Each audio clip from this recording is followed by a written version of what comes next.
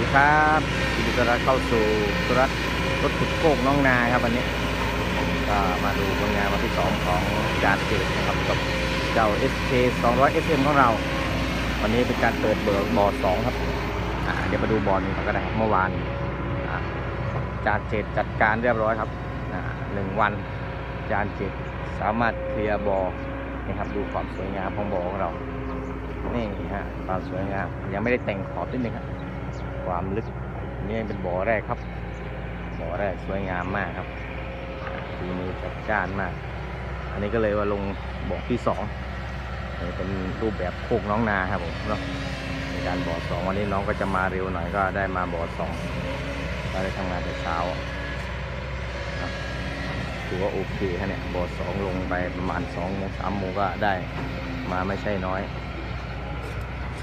วันนี้เห็นอ่า น้องโรเฟอร์คนขับ บอกว่าจะให้จบงานวันนี้ไม่น่าจะมีปัญหาครับสไตล์การขับแล้วไม่น่าจะยากเพราะบ่อที่สองนี่ก็ลงลึกแค่ถ้าบท4เมตรก็จะง่ายกว่าบ่อแรกหน่อยนึงแต่ปัญหาก็ติดที่การโยนดินของเราเพราะดินมันสถานที่มันแคบดินออกซ้ายขวาได้น้อยมากครับไม่ได้ด้วยซ้ำเพราะว่าดินกองไส้ไก่ข้างในก็เลยต้องโยนหัวท้าย ก็ปัญหาก็จะเกิดเรื่องของการคอยดินรอบสองก็จะช้าไปนิดนึงนี่บริเวณที่อ่าแปลงของพี่กินบ้านทำนบไม่รู้หมู่เลยครับบ้านทำนบตำบลหนองติงอำเภอสังจังหวัดบุรีรัมย์ก็โอเคครับใช้ได้ครับ แล้วก็น้องก็คือทีนี้ก็ใช้ได้ครับการทำพวกโรงงานของเราจบงานหลวงเนี่ย โอกาสจะทำโคกโรงนาของงานเอกชนหรือชาวบ้านเราที่มีทุนทำเองเรารับออกแบบให้ครับเพราะเราผ่านประสบการณ์มาผมว่างานหลวงเป็นร้อยบอกถือว่างานหลวงนี่ยากกว่างานของชาวบ้านแน่นอนเพราะหนึ่งต้องลงให้ได้ตะพักเท่าไหร่ก็ต้องลงให้ขนาดนั้น ความกว้างของตะพักความลึก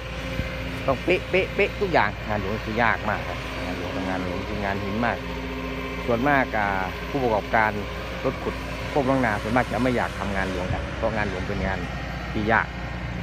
งานหินเรียกว่างานหินครับงานยากกินยาก เพราะว่าต้องได้ตามแบบจริงๆทั้งนั้นก็ตรวจไม่ผ่านก็ไม่ได้เงินก็มาแก้ไข งานพวกนี้แก้ไขยากครับนี่ฮะก็เลยต้องมาควบคุมน้องเรื่อยๆบอกแบบน้องเพราะน้องก็ยังไม่เคยทำงานหลวงก็มาเจอนี่เคสแรกก็ปวดหัวนิดนึงแต่ก็ถือว่า เข้าใจงานเลย งานเราถึงได้เดินมาเรื่อยๆประมาณนี้วันนี้ก็น่าจะจบครับ อันนี้ก็เป็นเหลือของไส้ไก่นิดเดียวครับก็ดึงของไส้ไก่ให้ไปให้ได้ตามแบบได้เท่าไหร่เอาเท่านั้นแหละของไส้ไก่ครับไม่เป็นไรพื้นที่ก็จะเป็นไม่มีเหลือที่นาครับก็เหลือทำเป็นของไส้ไก่ตรงนี้เป็นแนวที่หญ้าอยู่นะของไส้ไก่แล้วก็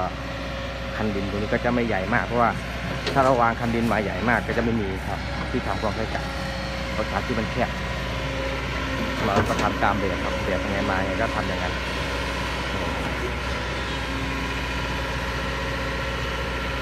เราทำงานการทำงานของ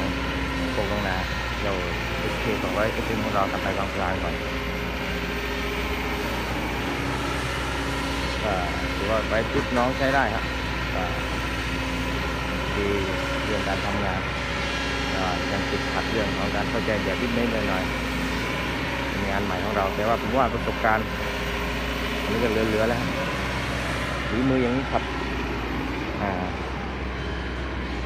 จะอยู่ทีมทำพวกน้องนาให้กับเอกชนนี่สบายๆครับ